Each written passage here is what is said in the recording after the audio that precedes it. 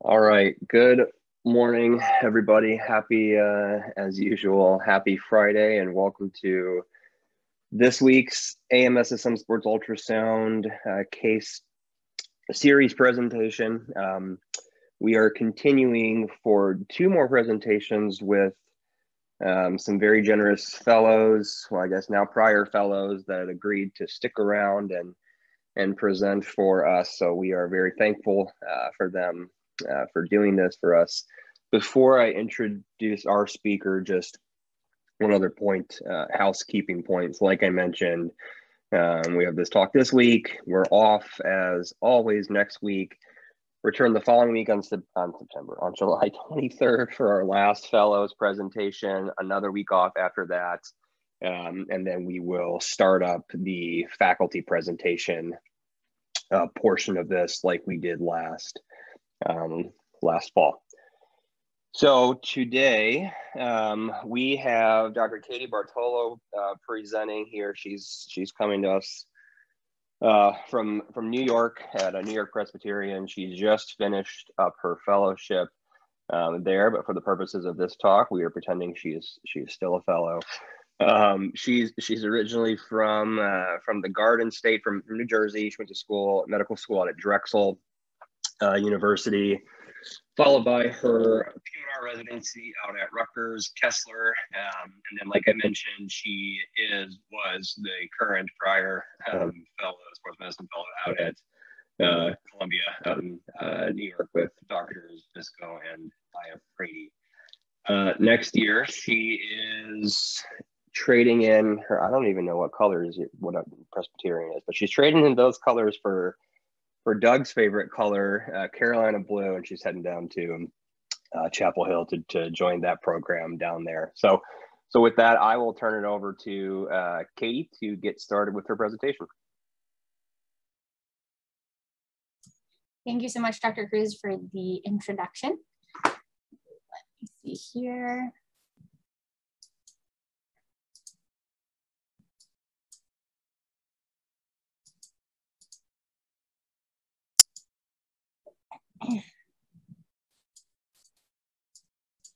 All right. Good morning, everyone. I uh, want to thank uh, Drs. Cruz, Hoffman, and Hall for putting together this amazing ultrasound case series.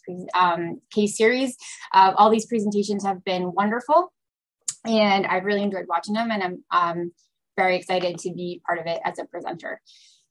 So today we'll be covering the posterior medial elbow region. I have no disclosures.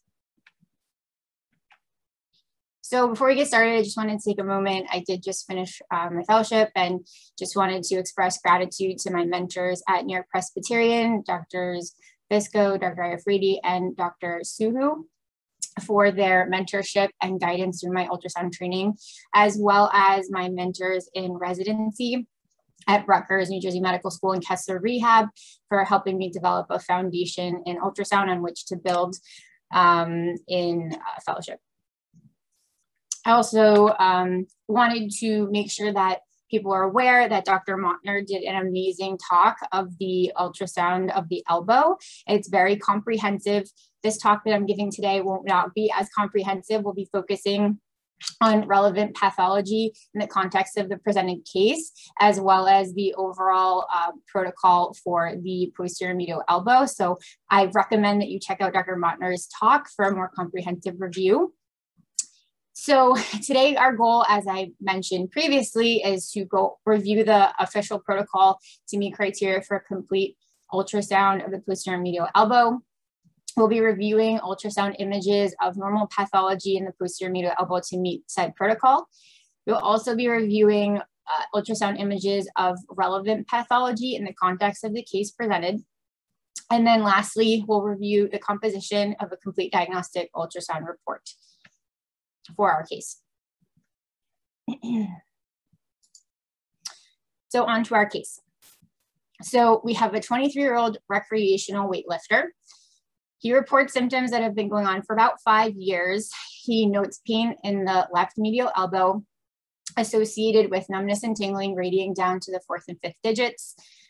He notes that his symptoms are worse with prolonged elbow flexion and weight lifting, mainly with exercises such as chest press and triceps extensions.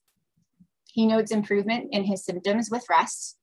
He denies any known trauma, denies noticing any bruising or swelling in the area at any point, and he denies any concurrent neck pain.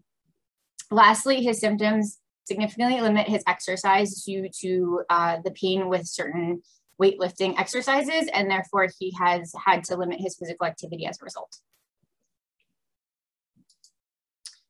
So on physical exam, inspection was normal. So he had no deformities, no swelling, no discoloration, no muscle atrophy distally in the hand, normal carrying angle. On palpation, he did note tenderness along the retrocondylar groove. Range of motion in the elbow was full um, for flexion and extension, as well as supination and pronation. For special tests, we did have a positive Tinel sign at the retrocondylar groove. Spurling test was negative. And the neuro exam largely was normal, including strength with finger flexion at the DIP of digits four and five and abduction of the fifth digit. It did not have any sen sensory deficits and reflexes were symmetric.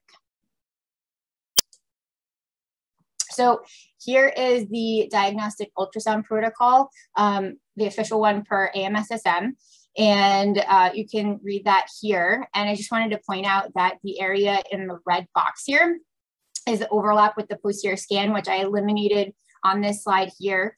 Uh, just for you to eliminate redundancy, but just want to make sure that you're aware. Um, but overall, these two compartments really are very much related to one another. And so often you'll find yourself adding them together either way. Um, so just go ahead and take a look at this list and this is what we, what we will be covering today. so just going over considerations before we start the scan. So as others have mentioned, it's important to consider your patient positioning. So in general, when I'm scanning the um, medial and posterior elbow, I'll have my patient lying supine. Just seems to be more comfortable for them and for me as well to be more ergonomic with my setup. However, if you notice that it's challenging for your patient to have their shoulder abducted to about, you know, 70 or 90 degrees, you can always have your patient lie on their side and essentially have their elbow in flexion, and that will still expose the area of the elbow that you need to scan. Uh, you want the shoulder abducted about at 90 degrees is what most people do, but sometimes patients also have shoulder pathology. So uh, you can also have it to a slightly lesser degree, but the goal just being you want to make sure you can get, you can access the part of the elbow that you want to scan. The elbow should be in some degree of flexion. Um, this will range depending on the structure that you're scanning. So anywhere from 30 to 90 degrees. So you can take a look here. This is generally how do most of the scan, but then there's aspects of this of the um, protocol with certain structures that we'll get into where you'll want your elbow more at this 90 degrees. And you'll notice that the elbow joint is generally slightly hanging off the table, just slightly to allow better access to the posterior medial area. Regarding the transducer type, we use a combination of two transducers. So your workhorse of the, um, the regular linear array transducer pictured here, as well, oops, go back, um, as well as the high frequency small footprint linear transducer, which will be used for smaller structures, especially um, for nerves. And um, lastly, you want to use a generous amount of transducer gel in this area. There's a lot of bony prominences. So to um, to ensure that you have good contact with the transducer to allow for quality imaging. You'll want to make sure you have a strong gel interface. And lastly, I forgot to mention for patient positioning, when it comes to the posterior aspect of the elbow, traditionally it's described to have your patient uh, seated and having the hand positioned onto the table and pushing down so that you can access the posterior aspect of the joint here. However, I find it's just more time efficient most of the time to have my patient uh, bring their hand back to behind their head so that it exposes this posterior elbow joint and you're still having that elbow in some degree of flexion. You can have them extend it further here too. So to start us off, we will start with the common flexor tendon. So the common flexor tendon, as you can see here, is attaching to the medial epicondyle, and it is shorter than the more frequently scanned common extensor tendon. So important to note there. And you'll want to make sure that you take a close view and close look at the uh, origin point here to evaluate for enthesiophyte calcifications or anything like that. And so the area between the blue arrows here is going to be the tendon. And this uh, here you'll see there'll be a photo with a blue box and the blue box denotes the positioning of the transducer.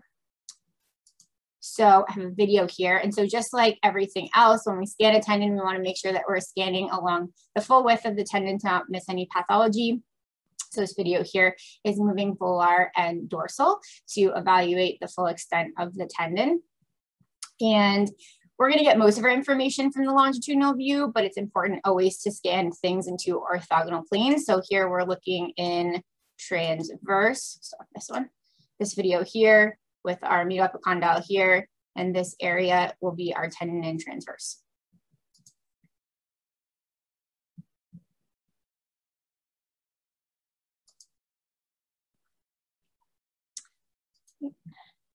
Moving on to the ulnar collateral ligament or the UCL with uh, significance in sports injuries. We often see this in our baseball pitchers. And so uh, here you can see that the UCL, as we all know, uh, is comprised of three different bands.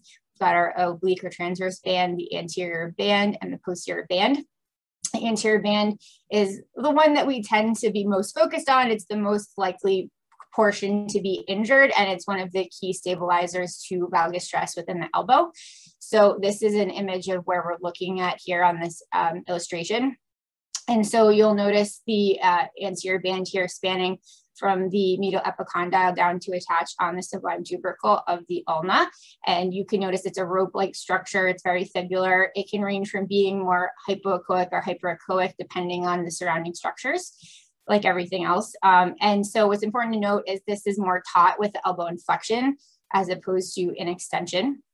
And you also want to make sure you're evaluating the humeral ulnar joint in this area with the UCL passing over it. This is important because sometimes you can get an effusion that's coming out more medially as opposed to in other areas of the joint. So then we want to evaluate uh, dynamically the UCL by applying valgus stress. So when I do this, I'll show this image here, or this video rather, of the, oops, of the transducer positioning. So positioning the transducer on there and we'll make sure that the elbow is essentially slightly hanging off and that the upper arm is being stabilized by the table. And then we'll have the patient with their thumb directed down and then I'll grab that, that thumb and direct it downwards towards the ground while stabilizing the transducer here, something to refer to as milking. So that's that.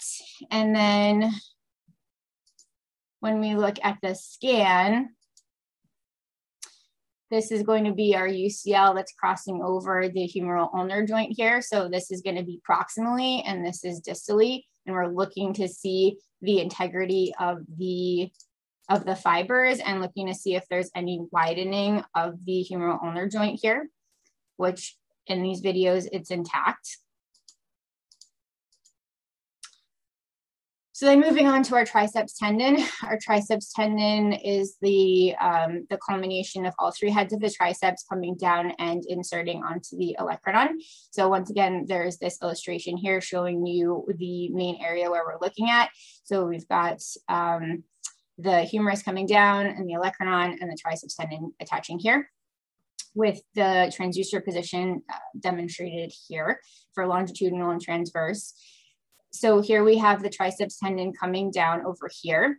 It's important to note that this striated appearance is normal. This is due to intervening fatty strands between the tendon fibers. It's a normal finding and shouldn't be confused with pathology.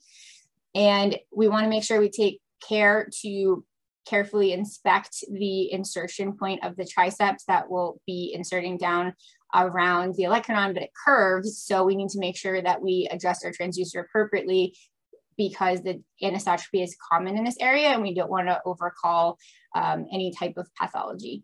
So we'll take a look at this video. This is looking at the triceps tendon in longitudinal. with a close, close inspection of that insertion on the olecranon.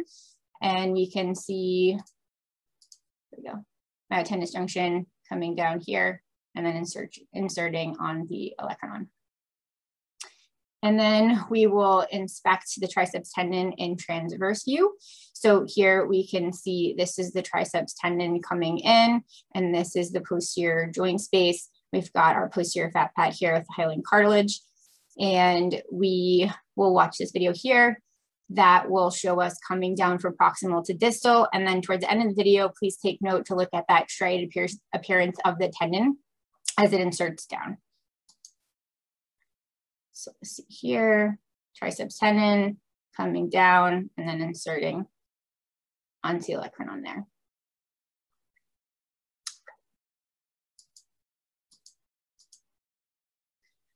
So the posterior joint space. Uh, so we'll, looking here again, we just reviewed this is the triceps tendon inserting on the olecranon. This is the trochlea. And then we have the humeral shaft here. In this region, this is our olecranon fossa with the, um, the posterior fat pad overlying. And uh, regarding the olecranon bursa, this is really superficial structure located in the soft tissues overlying the uh, olecranon process. So as a result, it's really important to use this gel interface here that you can see because if we are applying too much pressure with our transducer, it'd be very easy to displace the effusion, especially if it's a smaller effusion, and then it could be missed. And then uh, looking at this video again, it's the same one that we looked at for the triceps, but this time we'll be looking at it to uh, better evaluate the posterior joint space and the olecranon fossa and fat pad. So you can see that coming in here is our fat pad and the olecranon fossa coming through there. And that's our joint space right here. And so just like when we're looking at uh, radiographs, we're looking to see if there's any hypoechoic fluid or anechoic fluid in this area that's causing displacement of the posterior fat pad more uh, superiorly or superficially rather. So on to the ulnar nerve. So regarding, uh, we'll do a quick review of the ulnar nerve anatomy um, at the elbow. This will be important um, to uh, when it comes to scanning. So unfortunately, this got moved, not really sure why, but anyway, this should be here. This is where our transducer will be located. And the uh, ulnar nerve passes through what we consider the retrocondylar groove. So this is going to be passing posteriorly to the medial epicondyle, which is here, and the olecranon, which is here, and it will pass down there, and then it will enter the cubital tunnel, which is denoted by a fibrous tissue that has many names. So it can be called the cubital tunnel retinaculum, arcuate ligament, Osborn's fascia, Osborn's ligament. It has many names, but either way, it is this aponeurotic tissue or thickened fascia-like tissue that uh, spans from the medial epicondyle to the olecranon and then joins the two heads of the uh, flexor carpi ulnaris here and here, the humeral and the ulnar heads. And so I really like this cadaver um, picture that shows you this fibrous tissue joining the two heads. And you can see that this is the ulnar nerve that's passing beneath them. And so this is a transverse view of what we're looking at over here in illustration with our medial epicondyle, the olecranon. We've got, we'll call it Osborn's ligament for simplicity's sake during this talk, and the cross section of the ulnar nerve. So to speaking to the cross section, this will be how we evaluate to see if there's evidence of entrapment. So when you're taking a cross section, you will try to draw um, around the hypoechoic portion of the nerve, but within the hyperechoic perineural tissue and you'll be looking to see what it is in uh, essentially millimeters squared. And so research has uh, shown that in general, a normal cross-sectional area for the ulnar nerve is around six to seven millimeters squared. Um, but it's important to know that unlike with other nerves, on other nerves, it is expected that the ulnar nerve will be slightly larger with at the level of the medial epicondyle and the retrocondylar groove compared to slightly more distally and proximally still at the level of the elbow. This is an important point. However, uh, there have been many studies and including a large meta-analysis by Chang et al. that described that essentially any cross-sectional area of the ulnar nerve that measures 10 millimeters squared or greater should be considered abnormal and enlarged.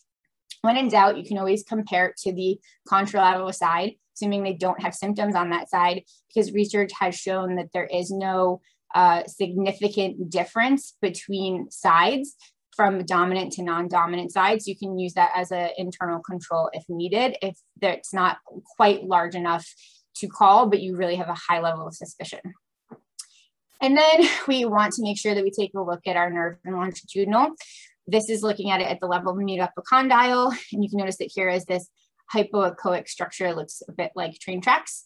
And uh, this can be a tough nerve to scan in longitudinal because of its oblique winding course. Uh, so sometimes it's easier to use a larger footprint transducer. Either way, you're looking for notching, so regularity uh, along the uh, periphery here, or you can see hourglassing, which sounds like as it sounds. So you see that it's much wider, and we'll look at that on the next slide, and then much uh, thinner in a certain area that denotes uh, compression. so um, when we're scanning the ulnar nerve, we want to take a look at uh, specific areas. So this is pictures moving distally to proximally. So here we can see our ulnar nerve it looks like that more classic honeycomb appearance that we're used to with those hypoechoic nerve fascicles and then hyperechoic perineural and intraneural tissue.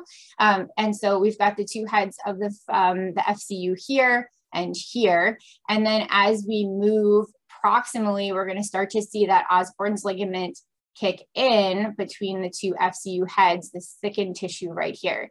I just wanna point out that it's normal to see fascicular rearrangement in the ulnar nerve at this region because the nerve is going to be moving around a bony prominence. Not uncommon to see the nerve go down to become uh, oligofascicular with two large fascicles or even down to monofascicular at the level of the medial epicondyle. As with other nerves, we tend to think that that's definitely a sign of entrapment, but at the ulnar nerve, this is pretty common and shouldn't be overcalled as pathology. You'll need a little something else because it's pretty common to see it go down into this one hypoechoic fascicle.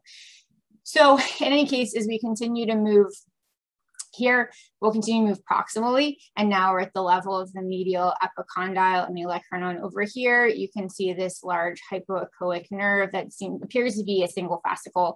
And then over here, we also have a posterior recurrent ulnar artery. You wanna just make sure that you identify that in case it's super close to the nerve, you don't want to include that artery in your cross-sectional area of the nerve. So it's important to identify prior to taking your cross-sectional area. And then I just have a video here moving uh, from distally to proximally demonstrating a video of these photos. So you can see the nerves right here between the two heads of the FCU here and here. And we see that Osborn's ligament coming in and we follow it up and we want to make sure that we stay in true cross section to the nerve. If we're going to be taking a cross sectional area, we don't want to be taking that when the nerve's oblique. So dynamic scan of ulnar nerve, the nerve can sublux over the medial epicondyle. So this is normal. Looking at our ulnar nerve right here, medial epicondyle is here. And here I am passively flexing and extending the elbow to see if this ulnar nerve is going to sublux over the medial epicondyle. We don't see that here. I apologize for the quality of this video. For some reason, it didn't save as well. But in any case, the ulnar nerve is here, once again, medial epicondyle. And as we're flexing the elbow, we can see that this nerve passes over the medial epicondyle. It also seems to be flattening here. So this would be subluxation. There's another variation of snapping tricep syndrome, which you would see then this is the medial triceps passing over the medial epicondyle. This can occur with or without ulnar nerve subluxation. So sometimes it'll be like the ulnar nerve will sublux and then the medial triceps will sublux over the medial epicondyle. Other times the ulnar nerve will stay, stay in place and you'll see this uh, snapping triceps, medial, medial triceps passing over the ulnar nerve, which was demonstrated in Dr. Montner's talk. So back to our case. So Uh, our weightlifter here, we took a cross-sectional area of the ulnar nerve here at the level of the medial epicondyle. So we have the medial epicondyle here. And we took a cross-sectional area, which was about 12 millimeters squared, which we know is above our cutoff for abnormal, as I mentioned previously, is 10 millimeters squared. We also look here to see the medial triceps as well. And what's this? We'll go over that in a second, but there's a, you know, some kind of a muscular tissue located above the ulnar nerve here. And then when we scan further distally, at the level of potential compression by Osborn's ligament between the two heads of the FCU, we note here that the ulnar nerve is is uh, measuring six millimeters squared in cross-sectional area, which is a significant difference from more proximally. And then um, when we go proximal to the elbow, we also see that it's around seven millimeters squared. So there's a difference between um, the level of the medial epicondyle and more distally and more proximally. And then longitudinally, as we look at the nerve here, we see our nerve here as this hypoechoic train trachy rope looking structure passing by the medial And then you can notice the difference in the caliber here in the diameter that it's much wider here compared to here. And there's also thickening of the perineural tissue in this area that is consistent with entrapment.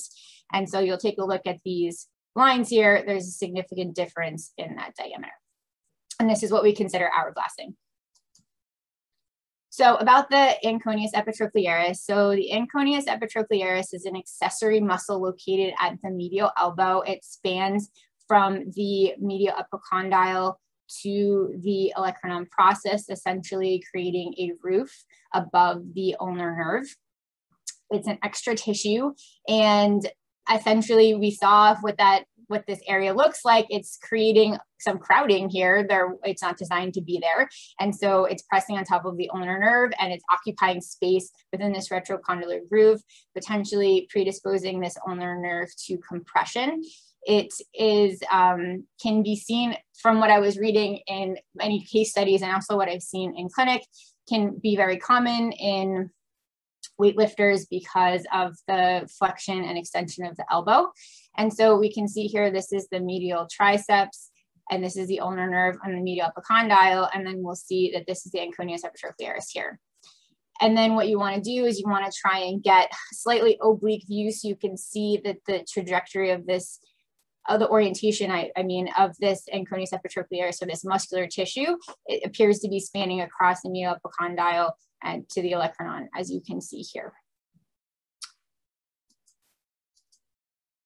Oh, and I had a video here. So when you're trying to determine if it is truly an anconeus epitrochlearis versus a slip of the medial triceps, you'll want to see that that anconeus epitrochlearis is coming from what appears to be the Osborn's ligament as you're scanning distal approximally. So you'll see in this video, we're scanning distal proximal and we see Osborn's ligament. And then as we keep scanning proximally, all of a sudden this muscular tissue appears above it, kind of just bloop, comes in. And then as you continue to scan proximally, it then disappears and it's located right over the ulnar nerve. So take a look at this video. It's our ulnar nerve.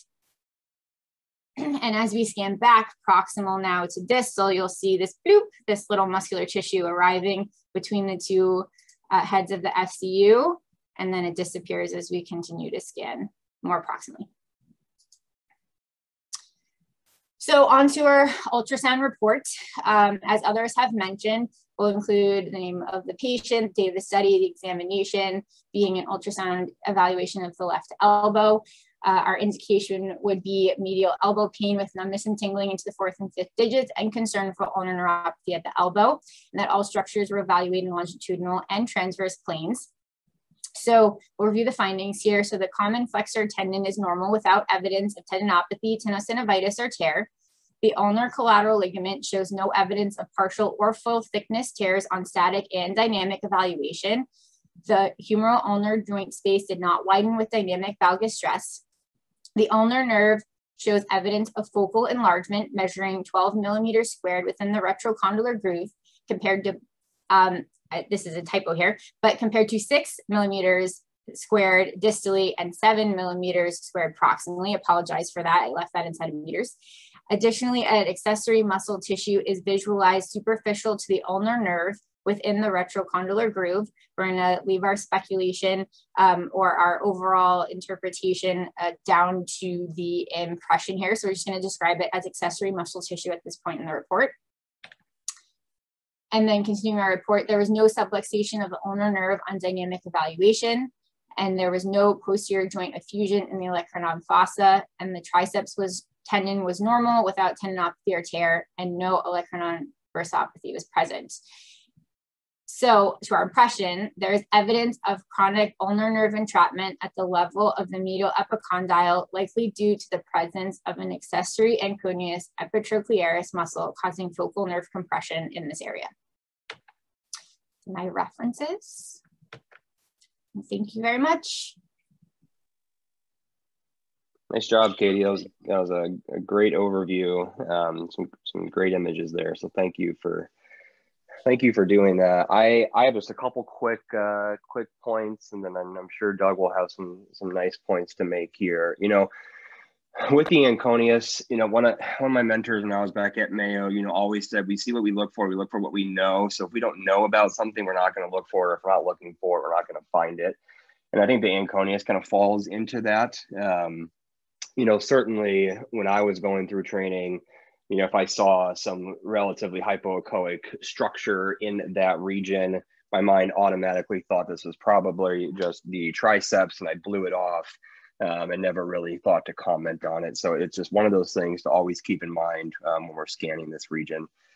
Uh, one comment on on positioning. So, so my preference when I'm scanning the medial elbow or posterior medial elbow I like to have them, like you mentioned, um, uh, side lying, and and you talked about the varying degrees of elbow flexion. And I tend, when I'm scanning these, to really move the patient in in different degrees of flexion for different reasons. Um, I'll typically start off with around 30 degrees of elbow flexion. I, I feel like I can get you know nice images of of the common flexor pronator tendon, of the ulnar nerve. I will start my UCL scan at 30 degrees of flexion. I will then rather quickly transition to around 70 or so degrees. Um, that somewhat came from, so Dr. Smith and uh, Dan Lueders, I think Jake Sellon published a paper back oof, 2015 or so, um, looking at variable degrees of elbow flexion for ulnar collateral ligament uh, evaluation. And, and the, the, preference amongst folks was about 70 degrees or so. And I tend to fall into that group. Um, so that's where I'll do my UCL scan. Uh, however, when I'm switching to my ulnar nerve scan, I'm going to bring them back out into a bit more extension. So around 30 degrees of flexion. And the reason being, any more than that, you know, once you get to 90 and above, you could potentially cause ulnar nerve to, to ride high or or sublux um, and, and and so you want to which can be uncomfortable for the patient so i like to have them around 30 45 degrees of flexion for my ulnar nerve scan um, the other point to make here uh, and you made a great point on this about using you know generous gel when you're scanning um, this region in particular the ulnar nerve. We know that you know excess sonopalpation or sonopressure in this area you can uh, artificially or iatrogenically uh, keep the ulnar nerve located uh, posterior to the medial condyle So you really want to float your transducer here so that you don't miss a potentially unstable um, ulnar nerve here. and then if you do see that the ulnar nerve um, is, is, is moving anterior to the medial epicondyle, I think it's important to, to comment on the type of motion that you're seeing, right? So if a lot of folks, you're going to see you know, nice smooth motion as the nerve slides over the medial epicondyle, and that's not always symptomatic. Um, some folks will have a, rather abrupt dyskinetic snap, and so I think I think describing that um, in in your report is is important to help differentiate, like I said, you know, smooth motion versus um, versus dyskinetic motion. Uh, that's I think that's that's all that I have. Doug, do you have anything you'd like to add? Yeah, I do have a. Can you hear me? Okay. Yeah. okay, I do have a couple comments. Nice presentation. Um, just I, my understanding of the anatomy is that Osborne's fascia, uh, uh, as you enter the so-called cubital tunnel, it spans between the olecranon and the medial epicondyle, and this fascia gives way to the arcuate ligament, which some people feel is a cubital tunnel proper. Um, but there's a distinction between Osborne's fascia and the arcuate ligament. And the surgeons know this as they do the release. They release the Osborne fascia, but they, they can see oftentimes the compression right at the arcuate ligament, it's tight. And then they release that uh, and essentially uh, split the flexor carpi ulnaris um, at that level. Um, just a couple comments about the protocol. So my protocol, which you had as, as part of your demonstration, is I do a proximal to distal short axis sweep because I want to look at that ulnar nerve in continuity as it goes from outside the cubital tunnel at the medial triceps in under Osborne's fascia, which is oftentimes where you see the enlargement, and then go through under the arcuate ligament and into the FCU as you demonstrated. And I find that's a very important video to have and go back to review as you're looking at these. I also include the first dorsal interossei muscle um, in my protocol. Um, just like electrodiagnostic studies, uh, we always want to test muscles. And so in this case, we should look for, you know, the echogenicity as well as the size of the first dorsal interossei muscle when evaluating the cubital tunnel, as I do uh, the thenar muscle group when I'm evaluating um, you know, the carpal tunnel or any nerve, I always, when I'm evaluating a nerve, I'm always including the muscles. Um, you know, anconeus, you, you show a fairly large uh, anconeus. Um, and, but even a large anconeus epitrochlearis muscle can be sometimes hard to distinguish between the medial triceps. Um, and that brings up the question is a low lying medial triceps as a cause of cubital tunnel syndrome. And it can be hard. And so it's the dynamic short axis images uh, that help you when you see the medial triceps uh, come um, with elbow flexion, um, whereas you shouldn't really see the medial triceps in full extension. And so if you see a muscle at full extension, it's most likely an anconeus epitrochlearis um, versus uh, inflection, you're going to always see the medial triceps come in. And, you know, uh, low lying medial triceps is a cause of cubital tunnel syndrome. And to my knowledge, you know, this has not been well quantified. It's more qualitative uh, in the sense that in full extension, I really sh shouldn't see the medial triceps. Even in slight flexion, um, we, we really shouldn't see much of it. And in someone where there's some flexion, and all of a sudden the cubital tunnel space is filled by the medial triceps, for me, that becomes a low-lying triceps. And the insertion of the triceps is fairly heterogeneous and complex. There's some direct muscle fiber attachments as well as a triceps tendon. So it can get tricky, but I think dynamic image, careful dynamic imaging and elbow flexion extension should be utilized to help distinguish an anconeus epitrochlearis muscle from the medial triceps itself. Um, and then lastly, there was a question, um, and the question was, you know, did you treat this condition, and if so, how how was this treated? Sure. So um, thank you, uh, Dr. Spruce and Dr. Hoffman, for the additional comments. They're very helpful. Um, as regarding the treatment of this patient, so what we had done is we did do an intramuscular steroid injection uh, with the goal of essentially trying to capitalize on that side effect of steroid to cause muscular atrophy to see, since this, as Dr. Hoffman mentioned, was a large anconeus, essentially uh, hypertrophied, most likely due to his weightlifting history, to see if we could atrophy that muscle slightly, if it would help relieve his symptoms. He, I did not get an opportunity to see him back in follow up, follow up after that uh, injection since I graduated, but it would be interesting to follow up um, in Dr. Visco's clinic and follow up with him to see how the patient is doing after that. When I did check the literature, it does sound like you can also have them go in and have it surgically released, uh, the muscle itself. So we'll see how he's feeling. Um, fortunately, his neuro exam was intact, but uh, it's possible that this could progress. And then if it became more severe, that we'd want to look at it more surgically. Yeah, you know, in my experience, um, in a weightlifter, a younger person, um, that will eventually go to resection um, of that accessory muscle. Um, so yeah, it would be interesting to see if an injection helped in this case. Hey, Doug, I, it's Jay. I would, I, I want to make a few comments if I could. Yeah, that'd be great, Jay first of all, Ryan, thanks for dating me. Would you say the paper was written like 15 years ago? I'm not, I'm not sure if you're, I'm not, I'm not sure if you're right, but uh, Katie was probably in high school when that happened, uh, but uh, I'm dated, I'm feeling old. Um, I think the uh, great job, Katie, and the the uh, presentation was was excellent. Doug's comments and Ryan's were right on. I think the biggest struggle I have with the Anconeus is trying to decide if it's symptomatic or not. Right? I mean, it's really uh, you know they can be quite large, they can be small, they can definitely be asymptomatic, and I think that reinforces what Doug said about the dynamic imaging part. You know, you got to put it all together and see you know, is this muscle a problem? It was likely a problem in this person's case, but you know, you, you sometimes don't really know. Um, I'd be interested, Doug, in the cases that you've had that have gone to resection. I mean, this guy is also at high risk for becoming unstable, right? You, I mean, part of this Anconeus is it's it's kind of creating a little bit of compression and a barrier, and if you resect it, which you know doesn't mean you shouldn't resect if it's symptomatic that you know he's going to have another problem because his hypertrophic medial triceps is going to make it unstable. So he'll probably end up with a transposition as part of his surgery.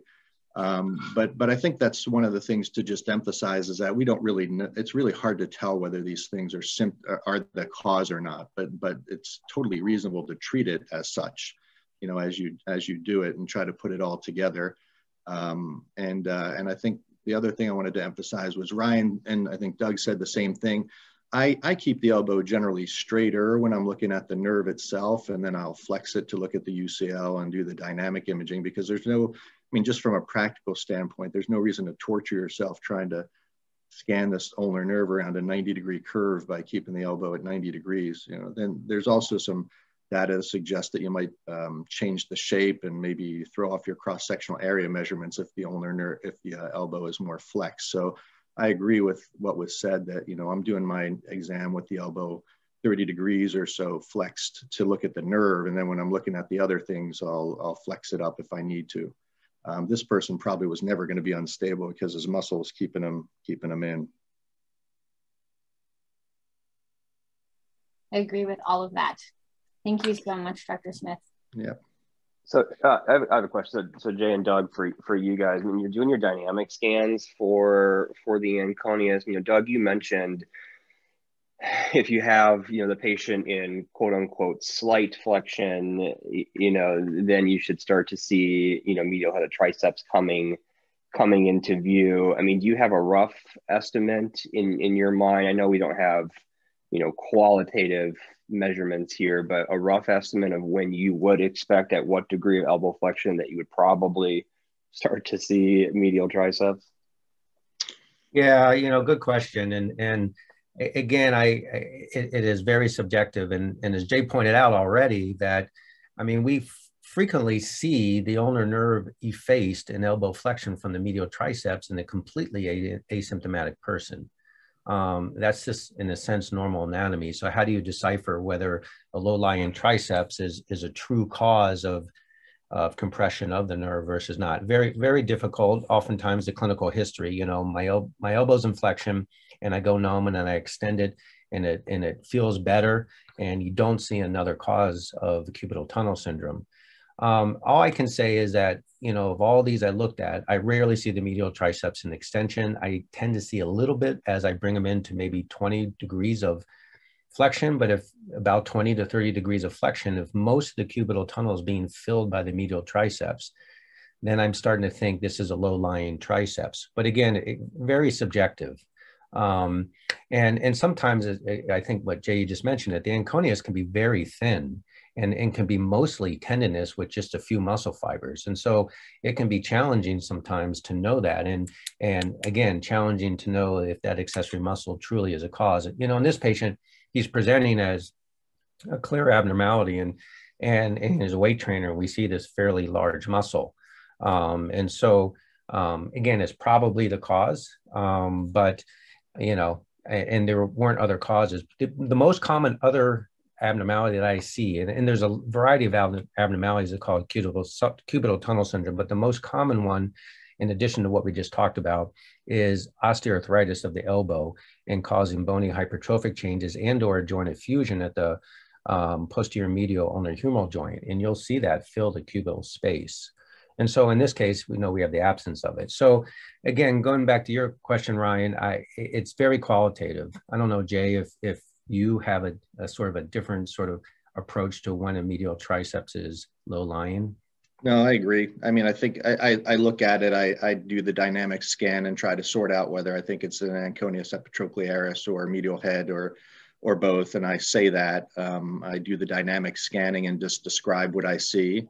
You know, a little bit of art history. You know, medial head of the triceps looks like it's pushing on the nerve, and and uh, that might be a that might be um, the morphological um, substrate for dynamic compression but it's kind of like the low-lying peroneus brevis, right, for the posterolateral ankle. I mean, you, you, could torture yourself in the literature trying to decide when to call that, and I think we all have have our own way of deciding when it's low-lying in terms of um, potentially predisposing to peroneal instability. But but yeah, I think you should just call it the way you see it. I think I, am not, uh, you know, to, to straight answer the question, I'm not aware of any data to suggest when it would be when it would be a distal medial head or not. So I just basically say there are, you know, there seems to be, there's direct fiber, muscle fiber attachment to the olecranon. It's, you know, appears to be on the large size without having any criteria to call it large.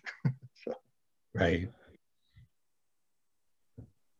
It's interesting Great. how much variability there is in this. So I read a lot of literature preparing for this talk. And even when it comes to the discussion of the Osborne's fascia, the cubital the cubital tunnel retinaculum versus the arcuate ligament and Osborne's ligament, it was very hard for me to find a consensus in the literature in general. So I checked many of our books that we look at. I looked at Strakowski's book, um, and I looked at Dr. Bianchi's book, and and then I looked and read papers, and it seemed like in general there wasn't a full consensus. Every not everyone could agree, you know, what was considered what and what was called this. And then I read the paper by Dr. Osborne. and so it was really helpful for me to hear Dr. Hoffman um, how you prefer to describe it. And so I think that's how I'll most likely be doing it moving forward. It was helpful to get uh, a little bit more of a consensus from you about that because it was a confusing area for me. And I think in general too, looking at the literature about the Anconeus, there, there's still a lot of questions about it from, you know, is it is it a result of there not being that cubital tunnel retinaculum and it's a replacement to potentially try and help stabilize that ulnar nerve or not? So it seems like an area we still have to learn a lot about, but I really appreciate all of the attendings for their uh, their comments to help me continue to grow and learn in this area. Yeah, I'll just make one final comment. I, I agree with Doug's terminology, and I think you know just a, I don't know, wisdom style type of thing is if if I was, it depends on the audience you're talking to. You know, if you're gonna, if you're, you could you could find out really quick if you're talking to someone, and it's typically going to be a surgeon if they're going to talk down into that language, and if and if you are into that specificity, I talk about it in the same terminology Doug talked about it. The reality is, most of the time when the surgeons operate, they're cutting all the stuff, right? They're just going to release it proximal to distal. They're going to, you know, leave nothing behind and so every, they there are many people that just lump it all into they call that all cubital tunnel syndrome or ulnar neuropathy at the elbow would be more appropriate but uh, so i think it's important for all of us to know the anatomy in the detailed way that doug said.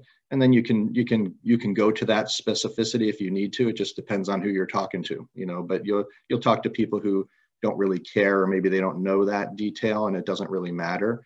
Um, and, but but it's always it behooves us to know it just in case you're going to be talking to someone who's going to ask you specifically where do you think it is? And you can tell them where you think it is and you can give them the anatomical um, uh, language the way that they're expecting to hear it.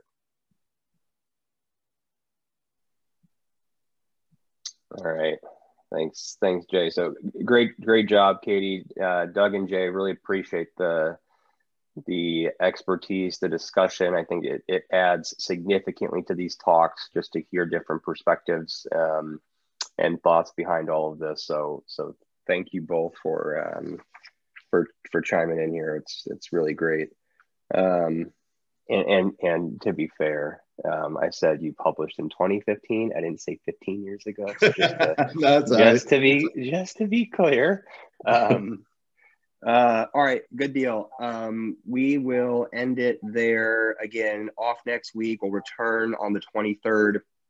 Uh, Ali Warwick, who is the uh, graduating or prior uh, UC Davis fellow, she'll be talking about some lateral knee pathology. I think it's uh, distal IT band syndrome potentially, um, unless that has changed. So again, that'll be on 723. otherwise, Katie, great job. That was that was that was really well done. You stimulated some fantastic discussion. So so kudos to you for doing that, and um, thanks again for for doing this. Thanks, everyone. Have a great day. All right. Happy Friday, all.